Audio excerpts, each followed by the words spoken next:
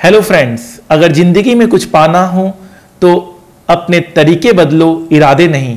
मैं Aditya Jain C S C S C M A C F A का faculty मैं आज आप लोगों के बीच C A final elective paper risk management के ऊपर एक डिस्कशन करना चाहता हूँ। ये वीडियो सारे सी ए फाइनल स्टूडेंट्स के लिए इंपॉर्टेंट है। ये वीडियो आपके प्रिपरेशन को अच्छा करेगी और आपके कन्फ्यूज़न को दूर करेगी। तो आइए इस सब्जेक्ट से रिलेटेड आपको जो भी बातें पता होनी चाहिए, वो हम शुरू करते हैं। सबसे पहले सिलेबस तो इसके सिलेबस में मात्र नौ चैप्टर्स हैं ओनली नाइन चैप्टर्स तो आप समझ सकते हैं कि coverage wise very very less है as compare to other elective papers number of books यहाँ पर जो हम आपको इशू करते हैं that is four four books हम इशू करते हैं। एक मेन टेक्स्ट बुक्स, एक एमसीक्यू बुक, एक केस स्टडी और एक summary notes. Main text books में कितने पेजेस हैं? 250 पेजेस। ओनली 250 पेजेस का आपको रीडिंग करना है इस सब्जेक्ट में। बुक्स की टाइटल मैंने आपको बताया। Main text book MCQ book, case study books और समरी बुक। तो मेन टेक्स्ट बुक आपका जो है वो 250 पेजेस का है। बाकी सब आपके उससे रिलेटेड है, जो आपने मेन टेक्स्ट बुक में पढ़ा होगा, चाहे वो एमसीक्यू क्यों ना हो केस स्टडी क्यों ना हो, और समरी बुक क्यों ना हो। तो मैंने एकदम रेडीमेड काम करके आपको दिया है। पेपर पैटर्न क्या रहेगा? थ्री केस स्टडीज़ रहेंगे 50 मार्क्स ईच के। फोर आवर्स का पेपर रहेगा। ओपन बुक एग्ज़ाम रहेगा। आप कोई भी बुक्स लेकर एग्ज़ाम में जा सकते हैं, कितनी ही बुक्स लेकर जा सकते हैं। क्वेश्चन का टाइप क्या रहेगा? 40 परसेंट एमसीक्यू रहेगा और 60 percent reasoning logical practical theoretical question रहेंगे। Should I cover C A final S F M class before taking coaching of this paper क्या मुझे सी ए फाइनल की कोचिंग पहले ले लेनी चाहिए? Subject is linked with C A final S F M तो ये बेटर होगा अगर आपने C A final S F M की कोचिंग पहले ले रखी है। तो ये आपके लिए एक प्लस पॉइंट रहेगा। ठीक है सर कोई दिक्कत नहीं है। What about non S F M students जिन्होंने एस एफ़ एम कवर नहीं किया है? उनका क्या होगा? उनको घबराने की ज़रूरत नहीं है। उनके लिए हमने सेपरेट लेक्चर्स हमने अलग से रिकॉर्ड कर दिए हैं। तो वो देखकर एट पार हो जाएँगे with S F M students तब उनको भी ये पेपर बहुत आसानी से वो क्लियर कर सकते हैं। Number of lectures and duration तो normal S F M students के लिए 15 लेक्चर्स हैं। और नॉन एस स्टूडेंट्स के लिए 20 लेक्चर्स हैं। Question type 40 percent approximately MCQ आएगा एंड 60 परसेंट रीजनिंग आएगा। लॉजिकल प्रैक्टिकल थ्योरिटिकल क्वेश्चंस आएँगे। Should I cover C A final S F M class before taking coaching of this paper क्या मुझे C A final S F M की class ले लेनी चाहिए? ये subject linked with C A final S F M है। तो हाँ बेटर यही होगा कि आप सी ए फाइनल की कोचिंग पहले से ले रखे हों। तो what about non S F M students जिन्होंने एस एफ़ एम कोचिंग नहीं लिया, जो ग्रुप टू से ही अपनी तैयारी कर रहे हैं और ग्रुप टू देने के बाद ग्रुप वन में जाएँगे? उनको घबराने की ज़रूरत नहीं है they will face no problem क्योंकि उनके लिए हमने अलग से क्लास रिकॉर्ड करके उन्हें हमने प्रोवाइड किया है। Number of lectures and duration कितना रहेगा? एस एफ़ एम स्टूडेंट्स के लिए नंबर ऑफ़ लेक्चर 14 रहेंगे और non S F M students के लिए नंबर ऑफ़ लेक्चर 20 रहेगा। ठीक है, ये अप्रॉक्सीमेट बेसिस पे है ड्यूरेशन आपका रहेगा। Three and half an hour साढ़े तीन घंटे का ड्यूरेशन रहेगा।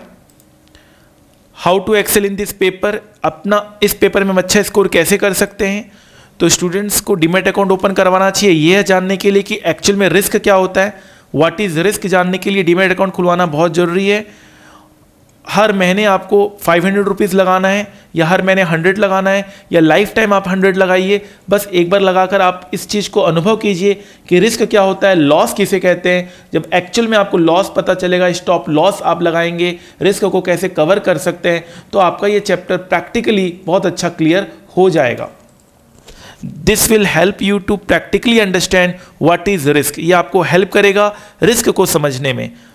नॉर्मली हम लोग यहाँ पर डीमेट अकाउंट ओपन करवाने की भी असिस्टेंस देते हैं। जिनको भी डीमेट अकाउंट ओपन करवाना हो, वो इस आईडी पे मेल कर कर अपना अकाउंट पहले से ही ओपन करवा दें।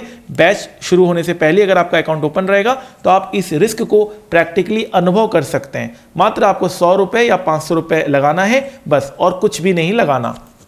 एटलीस्ट आपको फाइव टाइम्स रिवीजन करना है। हम क्या टॉपिक पढ़ रहे हैं? How to excel in this paper कैसे हम अच्छा स्कोर कर सकते हैं? पाँच रिवीजन करना है। ढाई सौ पेज का बुक है। पाँच रिवीजन आराम से हो जाएगा। इसलिए जितनी जल्दी ले सकें पेपर बहुत अच्छी बात है।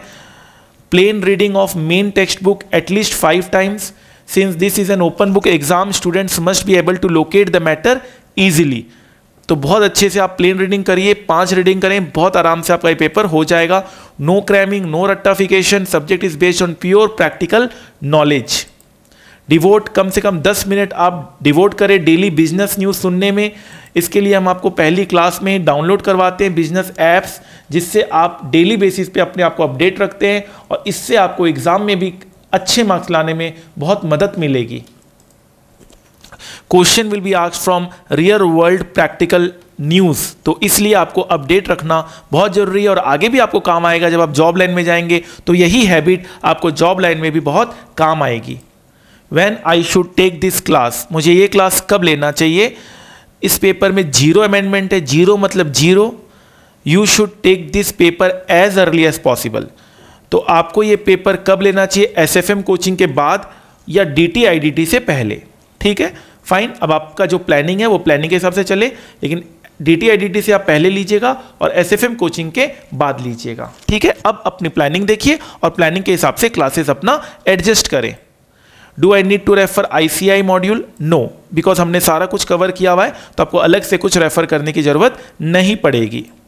So why should I select this paper तो हम इस पेपर को सेलेक्ट क्यों करें? What is important so why should I select this paper हम इस पेपर को क्यों सेलेक्ट करें? Risk management subject is both easy as well as career oriented ये इजी भी है और करियर ओरिएंटेड भी रहेगा। Main advantage of this paper इस पेपर का एडवांटेज क्या है? ज़ीरो अमेंडमेंट ज़ीरो मतलब ज़ीरो अमेंडमेंट और सबसे मेन एडवांटेज है very very very less syllabus बहुत कम सिलेबस है। Past question paper trends are very easy जो पास्ट पेपर्स के ट्रेंड है, उसको देखकर ऐसा लग रहा है कि पेपर बहुत ज़्यादा इजी है। इसमें कोई टेक्निकल पैटर्न से क्वेश्चंस पूछे नहीं जा रहे तो ये भी एक अच्छी बात है, जो पेपर स्कोरिंग समझना चाह रहे हैं, वो इस पेपर को बहुत अच्छी स्कोरिंग समझ सकते हैं। Risk managers are high in demand. आजकल इंडिया में खास तौर पे बैंक्स में फ्रॉड हो रहे हैं, स्टॉक मार्केट में लॉसेज हो रहे हैं तो risk managers are high in demand. High scoring paper है ये। इस पेपर में भी आप बहुत अच्छा स्कोर कर सकते हैं। हमारे student Nikita Agarwal, all India ये रैंक होल्डर थी और इन्होंने इस पेपर में एग्जामेशन सिक्योर किया है। बहुत अच्छी बात है। ऑब्वियस ही बात है कि आप भी इस पेपर में 60 प्लस आराम से ला सकते हैं और बहुत अच्छी तैयारी हो, बहुत अच्छा प्रैक्टिकल नॉलेज हो तो 90 प्लस भी लाना कोई मुश्किल नहीं होगा आपके लिए। इनका हमने इंटरव्यू भी लोड किया है। डेफिनेटली अगर आप चाहें तो इनका इंटरव्यू भी आप यूट्यूब में देख सकते हैं। Is this paper high scoring yes ये पेपर हाई स्कोरिंग है. You can easily target 90 plus with your with our class and study material is this paper high scoring yes you can easily target 90 plus with our class and study material आप आराम से 90 plus target कर सकते हैं. How this paper can help me in my career आपको career में ये paper कैसे आगे मदद कर सकता है? तो why risk management became so important कि एक सब्जेक्ट ही बन गया उसके लिए. Link of financial services and capital market with risk management. Stock market और रिस्क मैनेजमेंट का क्या रिलेशन है? If you want to be an accounting expert अगर आपको अकाउंटिंग एक्सपर्ट बनना है तो आप अकाउंटिंग का पेपर चूज़ करें। टैक्सेशन करना है तो आप टैक्स का पेपर चूज़ करें। लॉ एक्सपर्ट बनना है तो आप लॉ का पेपर चूज़ करें। लेकिन अगर आपको फाइनेंस एक्सपर्ट बनना है तो दो पेपर बनते हैं एफ़ और रिस्क मैनेजमेंट एफ़ का मैंने अलग से वीडियो लोड किया है डेफिनेटली आप उसे देखिएगा। अभी रिस्क मैनेजमेंट मैनेजमेंट की बात चल रही है। तो risk management is the identification and assessment of the risk for reducing और एलिमिनेटिंग द रिस्क मतलब यहाँ पर हम यह देखते हैं कि कैसे हम एक कंपनी का रिस्क को एलिमिनेट कर सकें रिड्यूस कर सकें।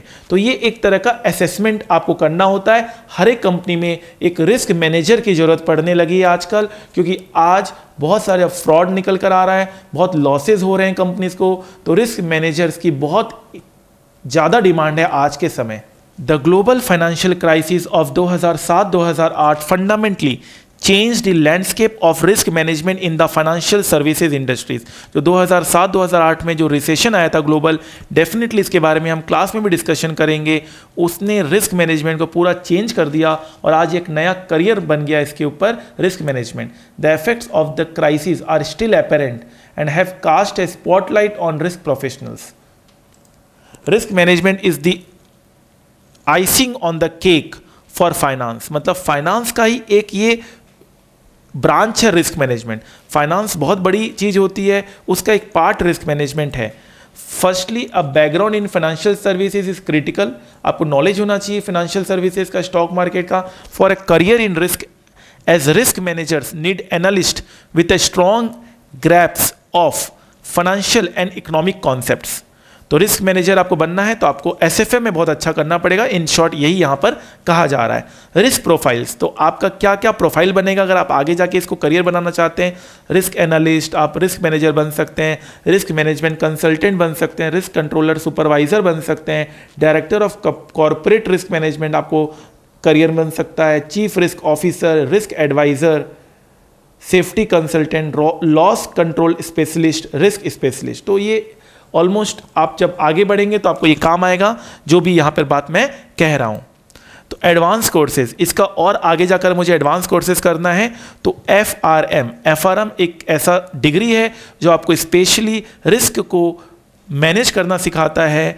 डेफिनेटली आगे चलकर मैं इसके बारे में बताऊँगा, लेकिन ये एफ़ आर एम आपको बहुत लेटर स्टेज ऑफ़ अपना करियर करना है, अभी नहीं करना है। जब आप जॉब कर रहे होंगे, आप जब इस लाइन में काम कर रहे होंगे तो आप एक डिग्री ले सकते हैं F R M correspondence course है यूएसए से ये डिग्री आपको इशू किया जाता है यूएसए का इंस्टीट्यूट है तो ऑब्वियस ही बात है, इसके बारे में मैं आगे चलकर आपको बताऊँगा, जब भी इसकी ज़रूरत पड़ेगी।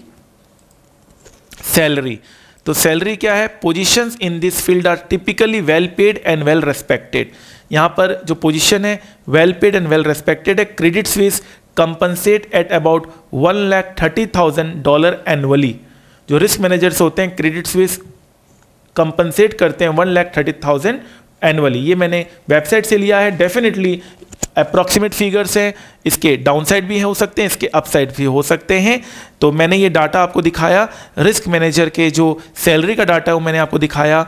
और यहाँ पर आप देख सकते हैं according to salary dot com यहाँ पर रिस्क मॉडलिंग मैनेजर सैलरी आपका one lakh twenty two thousand approximately dollar बन रहा है और टॉप रिस्क मैनेजमेंट एग्जीक्यूटिव की सैलरी बन रही है टू लैख डॉलर तो टू लैख डॉलर अपने आप में एक बहुत बड़ा अमाउंट है।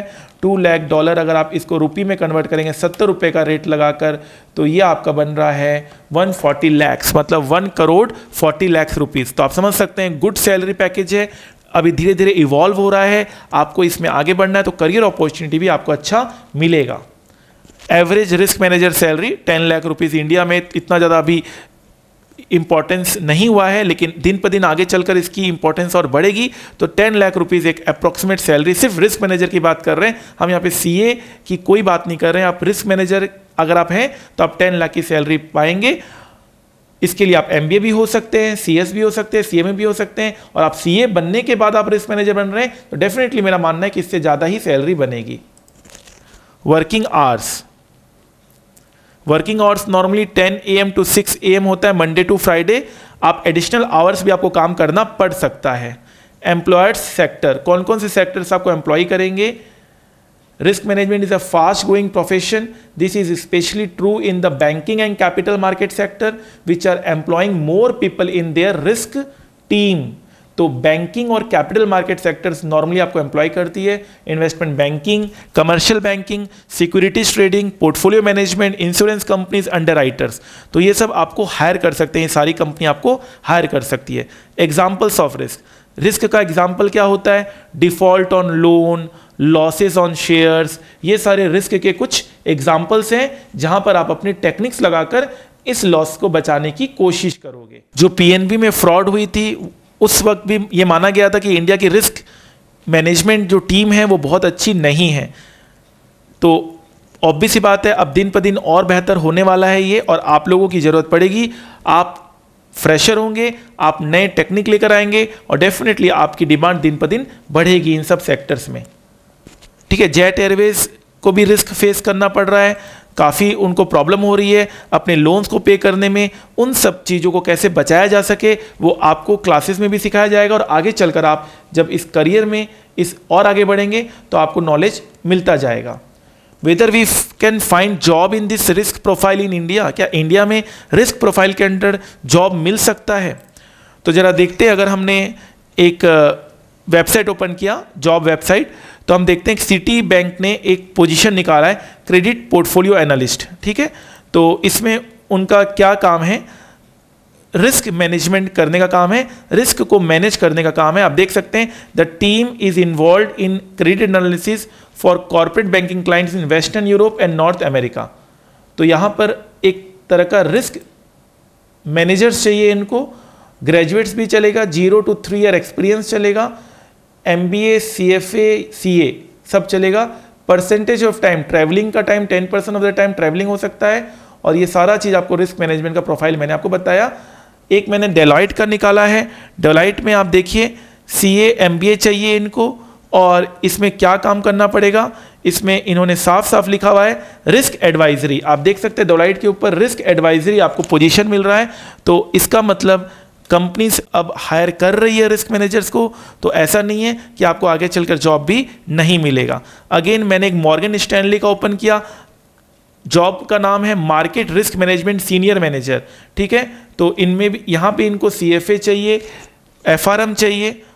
तो आप देख सकते हैं, आप एडवांस कोर्सेज करेंगे तो आप इस लाइन में और आने का आप सोच सकते हैं।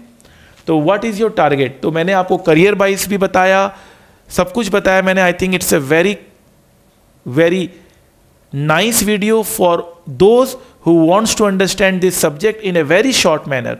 Target क्या है? टारगेट डेफिनेटली आप 100 परसेंट टारगेट करें अपने एसएफएम में।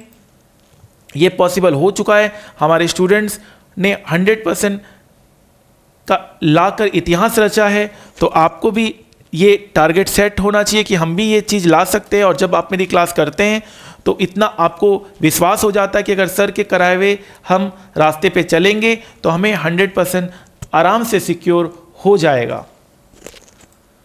इलेक्टिव पेपर में आप 90 प्लस सिक्योर करें, ये भी एक टारगेट रखें।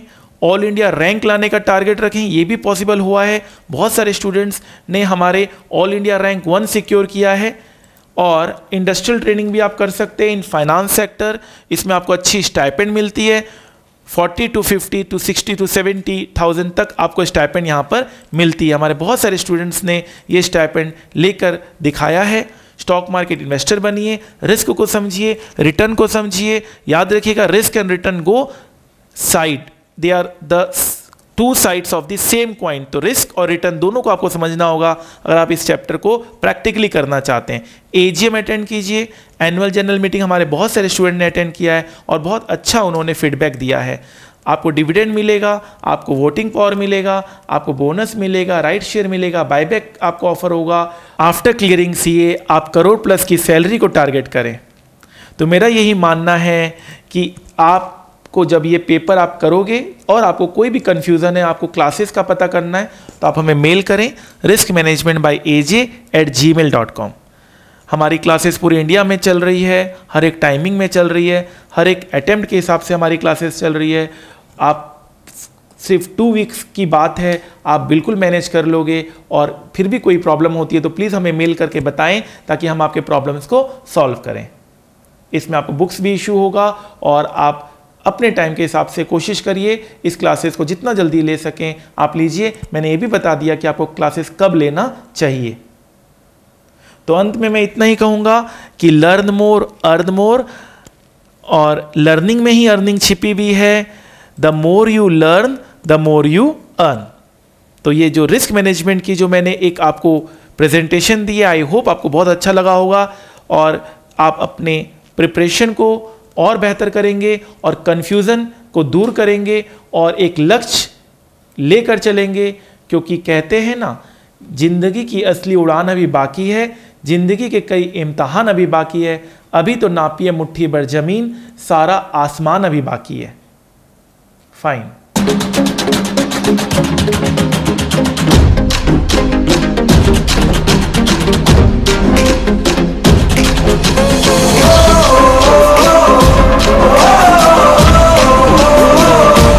मेरा जो बैच था, काफ़ी अच्छा रहा मतलब काफ़ी अच्छा एक्सपीरियंस रहा सर के साथ। सर की जो कॉन्सेप्ट वाइज स्टडी है, मैंने आज तक कहीं नहीं देखी। सर की मतलब कॉन्सेप्ट कॉन्सेप्ट के अंदर आप कंप्लीट चैप्टर पूरा होता तो आपको पता भी नहीं चलता कि चैप्टर कब पूरा हो गया। और जब वो रिवाइज करते हैं तो मतलब इतना ईजी लगता है वो चैप्टर आप जैसे सर ने कॉन्सेप्ट वाइज स्टडी करा दी है, उसके बाद भी जब दोबारा उसको स्टडी करने बैठेंगे तो बिल्कुल भी आपको डिफिकल्टी नहीं आएगी। मतलब हर कॉन्सेप्ट के साथ एक क्वेश्चन होगा, और कुछ सेवेंटी को आपको लेकिन लिमिटेड सा वो मिल जाएगा। सेवेंटी कॉन्सेप्ट के अंदर आपका एक बेस्ट चैप्टर तैयार हो गया है। आदित्य सर के पास आने का मतलब है कि एक स्टॉक मार्केट अप्रोच मतलब प्रैक्टिकल अप्रोच आप सर के प्रैक्टिकल सीखने के सर के पास आ रहे हैं आप। और स्टॉक मार्केट के अंदर अगर आपको सीखना है मतलब सीए फाइनल के अंदर सर से बेटर कोई हो नहीं सकता एंड सर एक बिगेस्ट मोटिवेटर भी हैं। क्लास के अंदर सर का मोटिवेशन है। मतलब टू गुड है और मेरा एक्सपीरियंस बहुत अच्छा रहा है। थैंक यू ऐसा में ऐसा सब्जेक्ट इतना टफ सब्जेक्ट जो स्टार्टिंग से लगा कि कैसे होगा कैसे होगा इतने अच्छे सर, सर ने पढ़ाया कि अब वो भी बहुत ईजी लग रहा है। तो इन शॉर्ट सब कुछ कहूँ hints S F M hints Aditya sir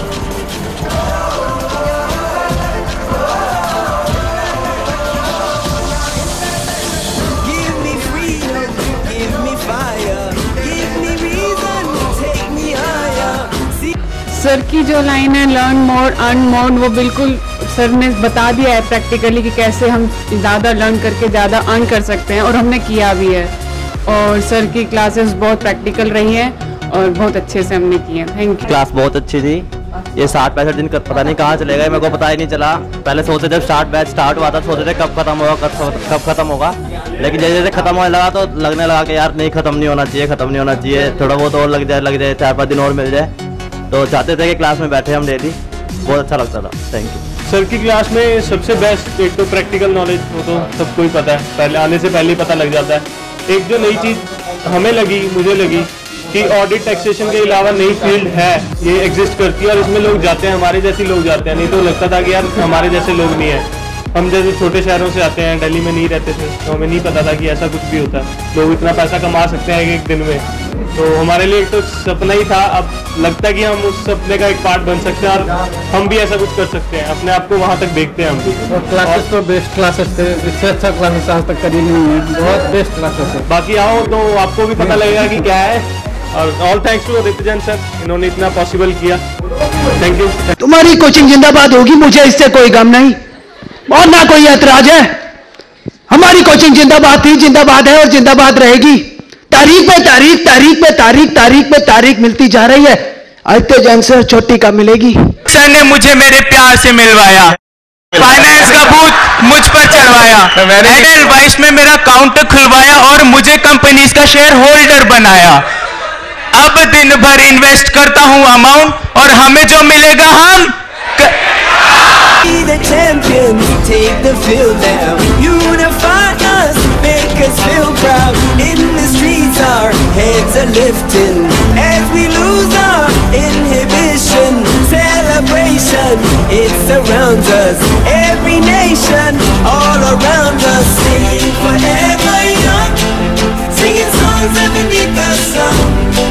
Let's rejoice in the beautiful game.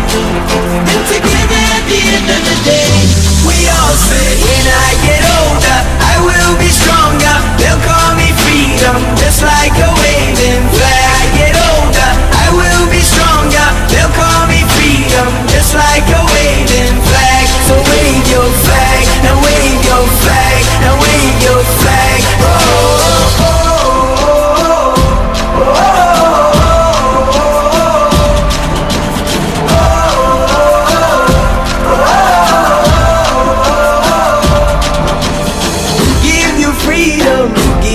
fire, give you reason, take you higher. See the champions, take the field now. Unify us, make us feel proud. In the streets, our heads are lifting as we lose our inhibition. Celebration, it surrounds us. Every nation, all around us, sing forever young. Singing songs underneath the sun. Let's rejoice in the beautiful game. And together at the end of the day, we all say, when I get older, I will be stronger. They'll call me freedom, just like a waving flag. I get older.